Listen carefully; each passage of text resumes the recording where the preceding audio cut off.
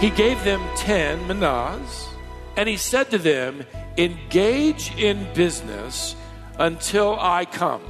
Do business with this. Get to work with my investment. Put my money to work while I'm away.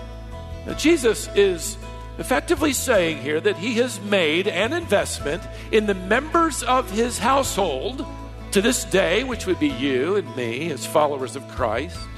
He's put something in our hands to steward for the sake of his kingdom.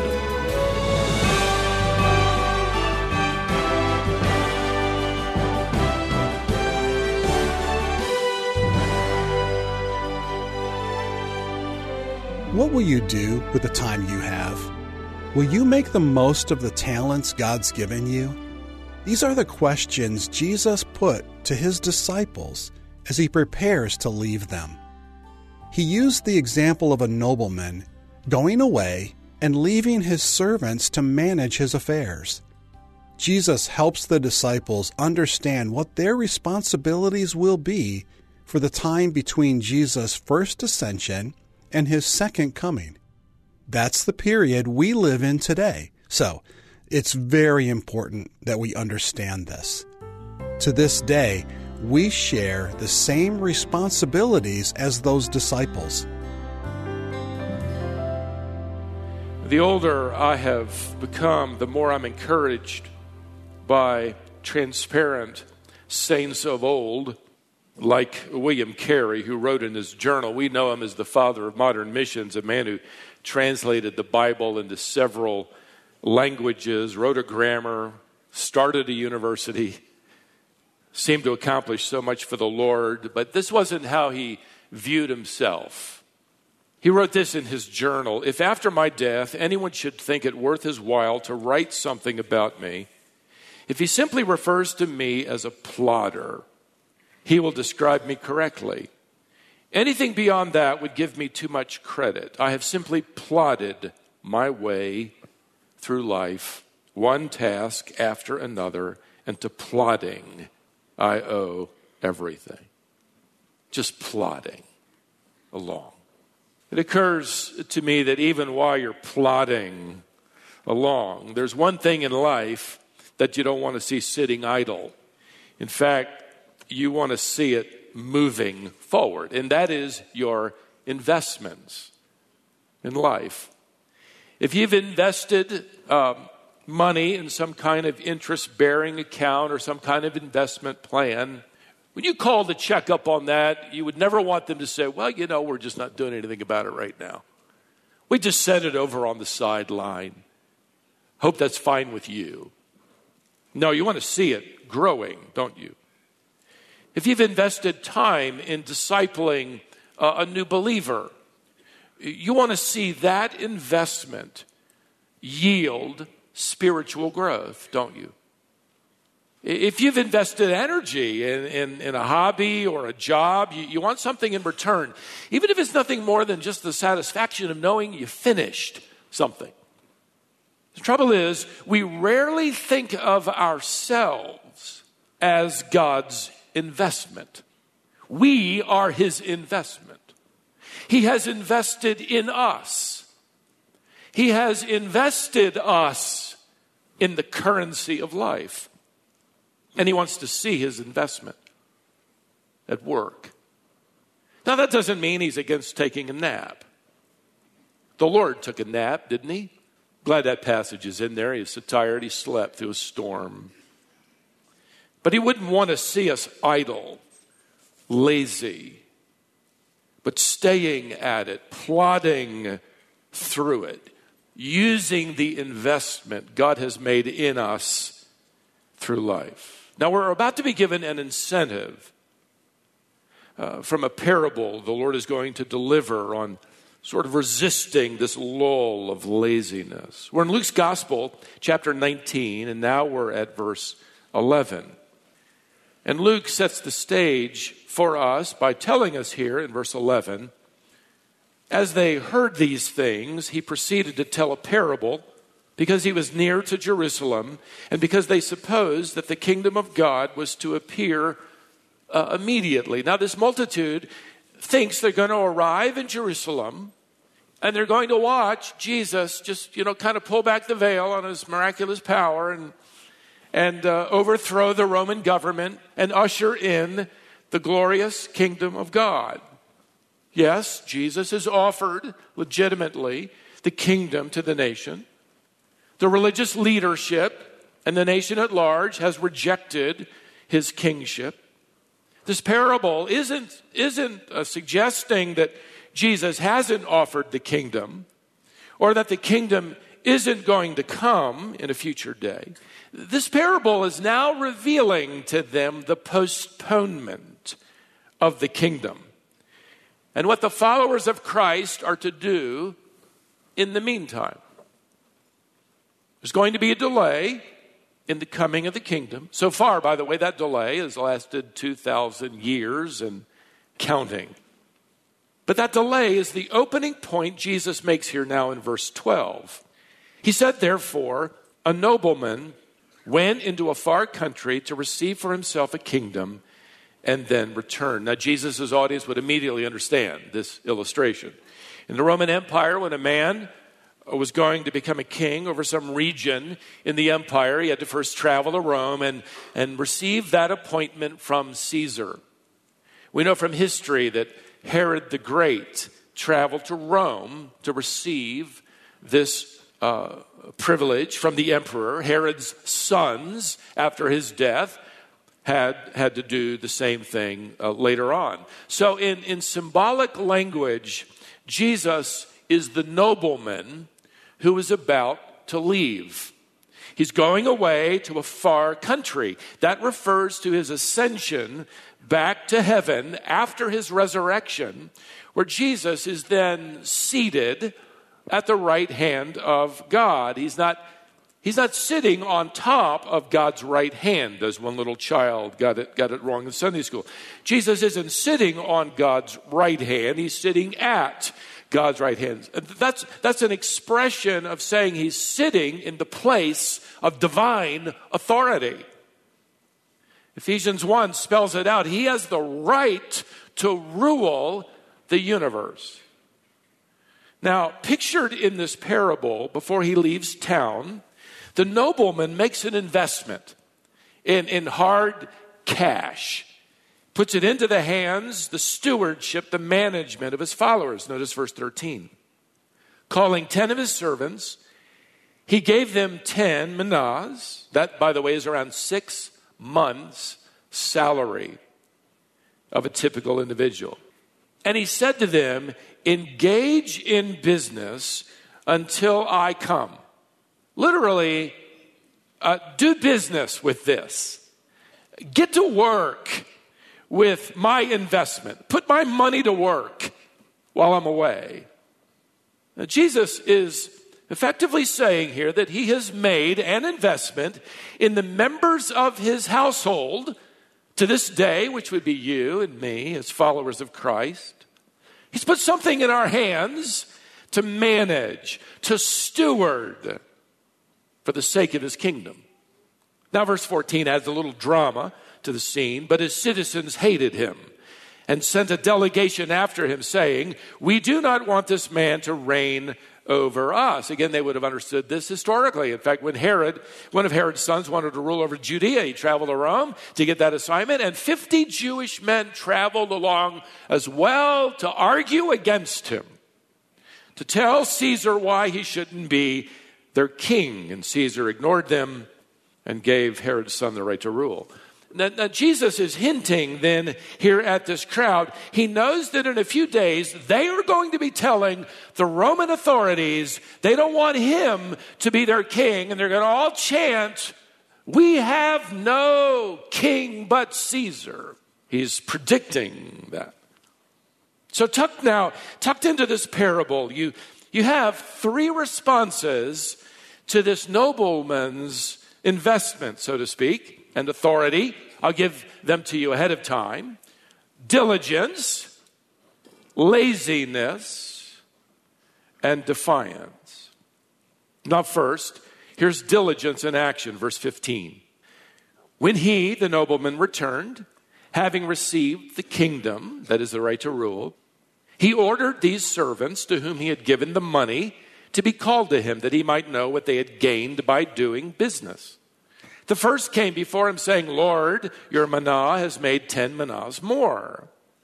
And he said to him, Well done, good servant, because you've been faithful in a very little, you shall have authority over ten cities. In other words, his diligence is now rewarded with responsibility in this kingdom that has essentially arrived. Now, I know this might not sound appealing. It looks like his work is rewarded with more work. But in light of that coming kingdom, just imagine being able to work alongside of Christ. In our perfected state, our immortal bodies, without sin, with unhindered uh, joy, with unlimited energy, we are now part of a royal court. Imagine co laboring with our king, being brought into conference, uh, having him give us plans to fulfill. Now, verse 18 the second servant came saying, Lord, your mina has made five minas. And he said to him, And you are to be over five cities. By the way, keep in mind that this parable doesn't focus on giftedness, but faithfulness. Did you notice that each servant, all ten, are given the exact same amount? But none of them are going to receive a reward for sitting down and folding their hands and sitting it out, lazy idleness. And with that, we have the next example. Following the example of diligence, we're not given an example of laziness. Verse 20. Then another came saying, Lord, here's your mina, which I've kept laid away in a handkerchief. For I was afraid of you because you are a severe man. You take what you did not deposit and reap what you did not sow. He, the, the nobleman, said to him, well, I will condemn you with your own words, you wicked servant. In other words, if what you are saying is true, verse 22, if you knew that I was a severe man, taking what I did not deposit and reaping what I did not sow, why then did you not at least, implied, put my money in the bank? And at my, my coming, I might have collected it with interest. Jesus is exposing this lazy servant's cover up. It was just an excuse. His excuse, in effect, was something like, Well, I know how demanding you are, uh, but your investment in me, you know, kind of put me in a, a no win situation. I, I, I might invest it, but I might lose it. So I decided to play it safe and just sit it over on the shelf. I decided to, you know, uh, stay out of harm's way. He makes his laziness sound like common sense. But the Lord knows his heart, his lazy spirit. And he takes his mina away, verses 24 to 26, and gives it to the servant who invested it most diligently. Now, let me add a word here. Be careful. Diligence and laziness are two responses of members of the nobleman's household. The lazy steward doesn't get kicked out of the household, but he does lose the fullest reward. So, also today, we as Christians can be diligent or lazy. If you've come to faith in, in Jesus Christ, your presence in the coming kingdom is guaranteed through salvation. But your position in the coming kingdom is determined by your service. You're getting into the kingdom because you're saved. You're going to be honored in the kingdom with responsibility because you served. It's the idea of the bema. That's the idea of rewarding diligence. Your salvation is a gift from God, period. Your service is your gift back to God, and He will reward you in a literal way, in a literal kingdom that is literally going to arrive. So here's the incentive to resist the lull of laziness. Uh, your place of responsibility and honor in the kingdom is going to be a reward for your service to Christ while you're alive. Every day you plod through adds to your privilege one day in the kingdom. The nobleman, just like the Lord today, sees through this man's excuse for not doing anything that put God's investment to work. And we battle our own set of excuses. Uh, they, they, they sound good to us, and we think, you know, God might buy it. It might sound something like, well, you know, I'm, I'm really not ready to serve in that way. Or, or someone else is more prepared to tackle that role. Or I, I might, not, I might not do the best job, but uh, somebody else could. In fact, if I can't do it perfectly, it's better that someone else try.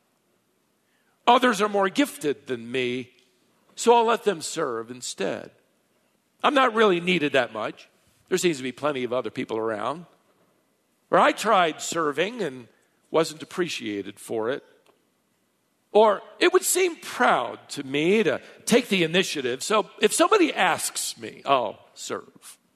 Or I'd rather avoid conflicts and stay out of harm's way. Or I'm not doing anything that important anyway, so why strive for excellence? And on and on and on and on. And we make our laziness sound like common sense. You might think that your service has to be something spectacular in order to make honorable mention. Not at all. Goes back here to the idea of plodding through the smallest task. You know, he didn't give these stewards a king's ransom, six months' salary. In fact, he called it a little, just a little. How you tackled that job how you handled that responsibility, how, how, how you treated that homework assignment, that load of laundry, that work project, that ministry task. The Bible says God is not unjust to overlook your work, your love, which you've shown in His name. He doesn't miss anything. That's bad news, but it's also good news. Our privilege and responsibility in the kingdom will be delivered to us in that assignment when He rewards that which was profitable, the Bible says. Every little thing. So we have diligence shown here, laziness shown here. Finally, we see defiance here, verse 27. But as for these enemies of mine, who did not want me to reign over them, bring them here and slaughter them before me. Now, in the context of this parable, a king would immediately move against a rebel presence that threatens his reign. Kings in these days would eliminate their enemies when they ascended the throne. Now, the application of this parable refers to the final judgment against those who have rejected King Jesus. This is a timeless warning, by the way, a severe warning for those who defy King Jesus. In fact, the apostle Paul picks the warning up and repeats it in Second Thessalonians chapter 1. He writes, When the Lord Jesus is revealed from heaven with his mighty angels in flaming fire inflicting vengeance on those who do not know God, on those who do not obey the gospel of our Lord Jesus. They will suffer the punishment of eternal destruction away from the presence of the Lord and from the glory of his might when he comes on that day to be glorified in his saints and to be marveled at among all who have believed, because our testimony to you was believed. So the defiant unbelieving world is shown here hating Jesus, defying Jesus, rejecting his right to rule, saying they do not want him. Judgment is simply God giving them their wish. They will live forever without him.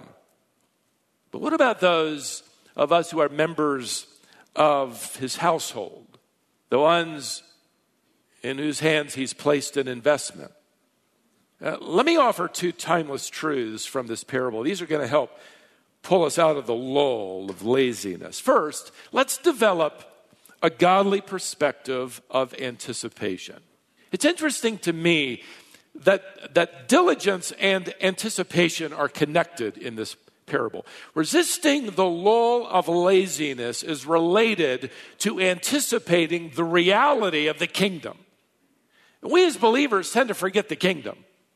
We think it's here and then we're going to float on a cloud one day. No, it's here and if we're alive, the rapture seven years later, the kingdom on earth for a thousand years arrives, and we with him. And we will have responsibility and privilege and honor as co reignees with Christ. Everything we do for Christ will be rewarded by Christ in this coming kingdom. We, we typically skip over that thousand years we get to serve him now, we will serve with him then. And in the meantime, we're to engage in business today. Jesus says back in verse 13, engage in business until I come. Put my investment that I have placed in you to work. As if to say, don't let my money sit on a shelf. Do something with it, great or small appreciated or unappreciated. Maybe it's widely known. Maybe it's known only to God because your work is in prayer, in private. Engage in business until I come. I love the way one author applied this text. To engage in business until I come, I, I need this verse, he writes, etched into my desk at work written on a sticky note at the top of my computer, pinned to my dashboard, taped to my lawnmower handle. I need it everywhere at all times. For God has given us each a mina, talents, responsibilities, families, neighbors, jobs, social platforms, ministries, hobbies. They are all divine investments. We're not just stuck between the resurrection of Christ and the coming rapture of the church. We're not stuck. Our little prayers, our little words, our little deeds may not seem to be accomplishing much in this world, but we will see they made a world of difference one day when we see the King. I mean, it makes you want to go to work. Probably not to the job you don't want to go to tomorrow, but you know what I mean. Go to work using whatever it is to bring glory to God. So, so we live with this kind of anticipation. And I can tell you, the older I get, the more I think about the kingdom every single day. Secondly, let's resist the gravitational pull of procrastination. That's the temptation to just kind of sit it out, to disengage, to put it off. In his last letter to Timothy, Paul delivers this challenge to young Timothy, and he writes this listen to this Timothy, let me remind you to fan into flame the gift of God which is in you. That is a very convicting challenge to me. Timothy, it's your responsibility to fan into flame what God ignited in you. Fan it into flame. This was Timothy's responsibility. Add the fuel of, of spiritual disciplines and godly anticipation and self sacrifice and godly desire. You, you stir those embers daily when you do the right thing, when you plod on. Live with a sense of kingdom anticipation. Resist that gravitational pull of procrastination. We fight it every day, don't we? Resist the lull of a lazy life. Leonardo da Vinci, by the way, I found in my study, it was interesting. He, obviously considered one of the most diversely talented individuals to have lived. An inventor, a student of human anatomy. His thoughts were way ahead of his culture. An architect, an engineer, dabbled with what is today a helicopter, hydraulics. Best known as an artist. It's interesting that even though this was his occupation, his output was tragically small. Only 17 paintings are definitively attributed to Leonardo da Vinci. Several were left unfinished. It was due, one author writes, to his chronic procrastination. He often had to be threatened by his patrons that they would withhold payment in order to motivate him to keep working. The Mona Lisa took 15 years to finish. Another painting had been commissioned with a seven month deadline. They tried to pressure him to finish it. He finished it 25 years later. On his deathbed, Leonardo da Vinci apologized.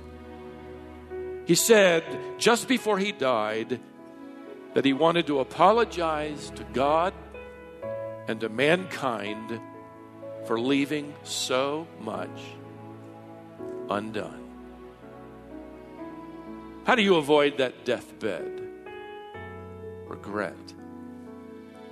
By imitating Timothy, who went on to fan the flame by imitating William Carey, who decided to simply plod on to finish one task at a time, to decide afresh, even today, to put God's investment He has made in you to work.